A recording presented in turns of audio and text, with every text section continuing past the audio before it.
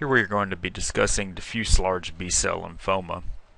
And pathologists typically like to classify their lymphomas as two types, small cell lymphomas and large cell lymphomas.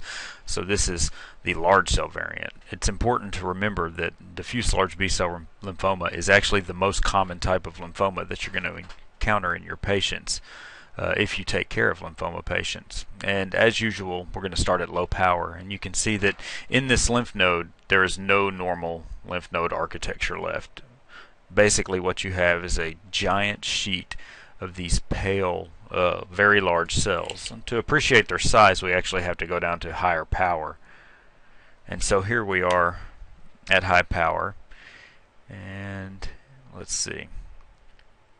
Uh, that's nicely focused. We can see that these are very large lymphocytes. And so we do this by typically comparing them to background lymphocytes, meaning that other lymphocytes in the background that are normal. So we see this guy, that's a normal lymphocyte. And when we compare it to these guys around it, you'll notice that the enlarged cells are about three to four times the size of the normal lymphocytes. And this is pretty common for diffuse large B-cell lymphoma.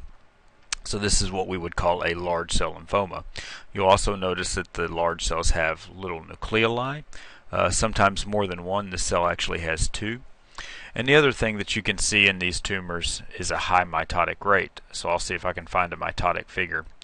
Uh, it's important to remember that these uh, these tumors are very aggressive and they grow very quickly, uh, as evidenced by the numerous mitotic figures. So here's a mitotic figure up here, and here's another one right here. Uh, because these tumors grow so fast, they actually respond better than slow-growing lymphomas to chemotherapy that we might use on them. So in summary, this is a nice case of a diffuse large B-cell lymphoma.